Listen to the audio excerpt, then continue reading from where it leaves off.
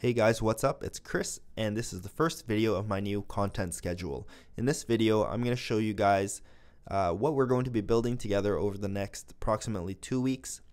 Uh, this is a project which I built about a year ago, maybe a year and a half ago now, in Objective-C. But when we build it together, uh, we're going to do it in Swift, the new programming language from Apple. And it's basically a YouTube app. How fitting, right?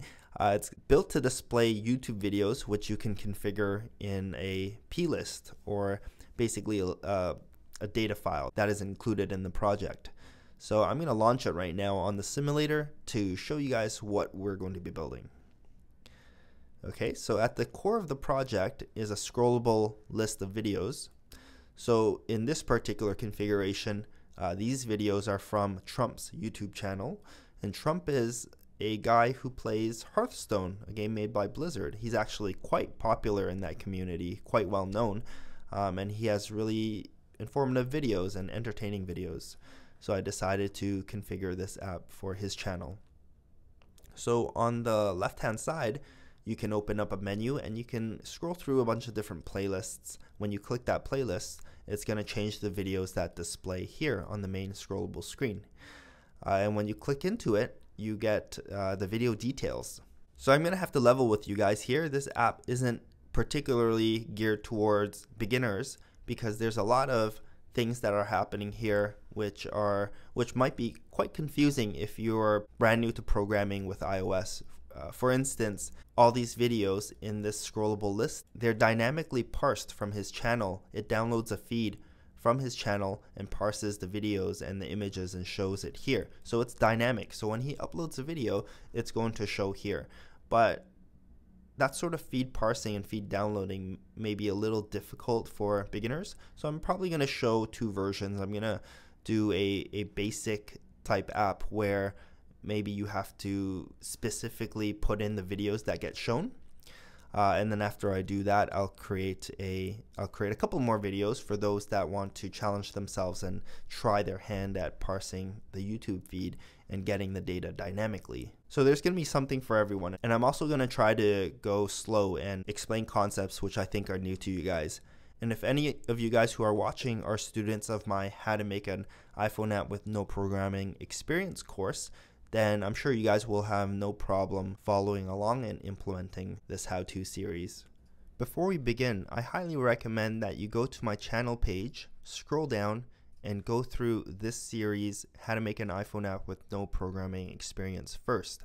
It's about 17 lessons long, but it's going to give you a at least a foundation for the terminology that I will be using and some of the concepts which I explain in uh, video 910 uh, those who are going to give you the basics of the object-oriented programming that I won't have time to explain as I'm going through building the YouTube app.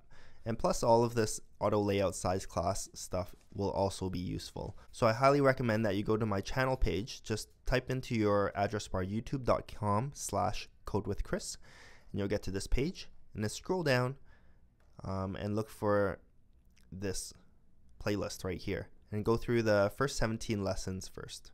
And that's going to make it a lot easier for you to go through this YouTube app series. Okay, so let's get started by creating our Xcode project.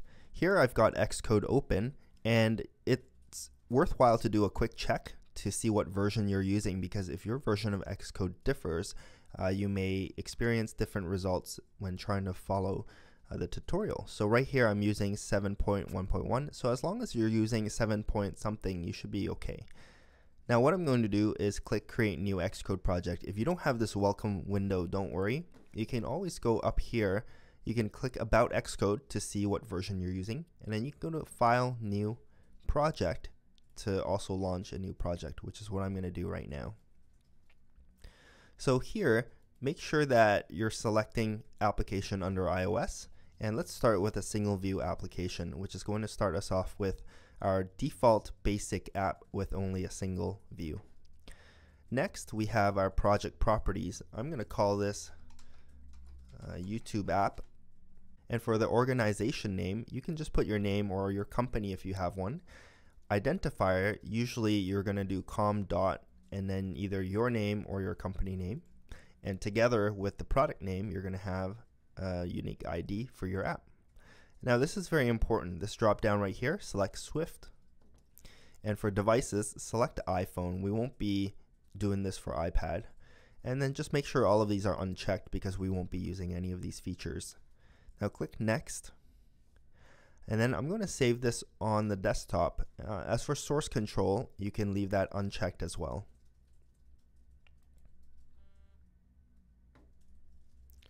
Alright, so now we have our default um, Xcode application. I'm going to quickly go through all of these files on the left hand side in this file navigator for the benefit of those who haven't really worked with Xcode before.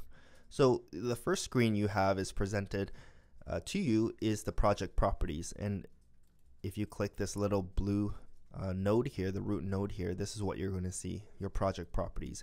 We don't need to configure anything for this right now.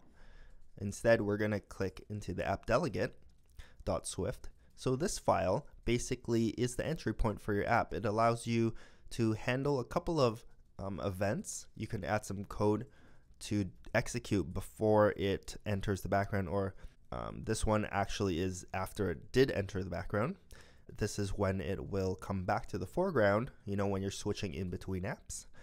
Uh, and so on and so forth. So this app delegate.swift is just a file which gives you a place to put some code to handle these events.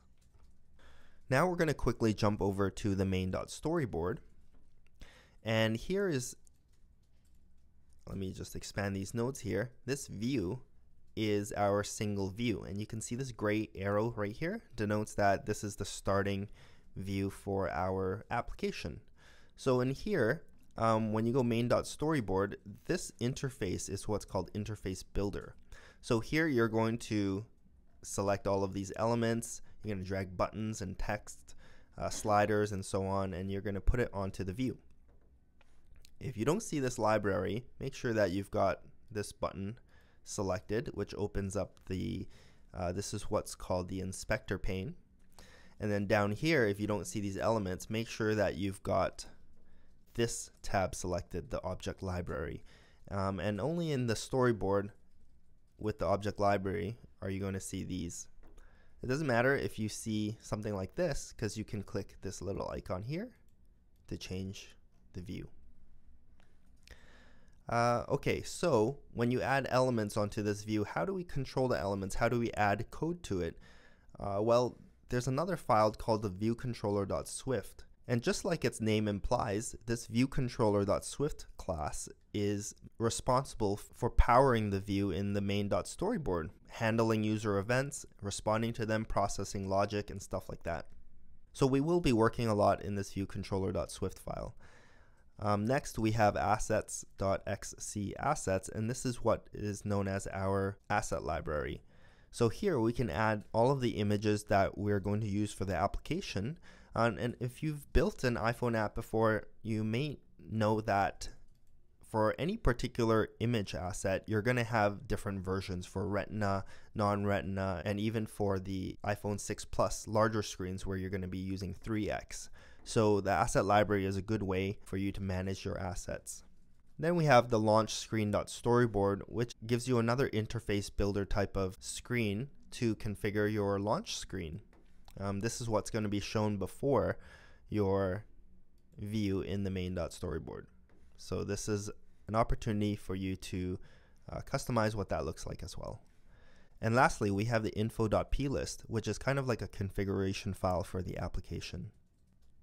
Okay, so that's where we're going to end off today. I want to thank you for learning with me. And if you're enjoying the series so far, I would really appreciate it if you give me a like, subscribe, and share it with your coworkers and friends. Okay, I'll talk to you guys tomorrow. Bye.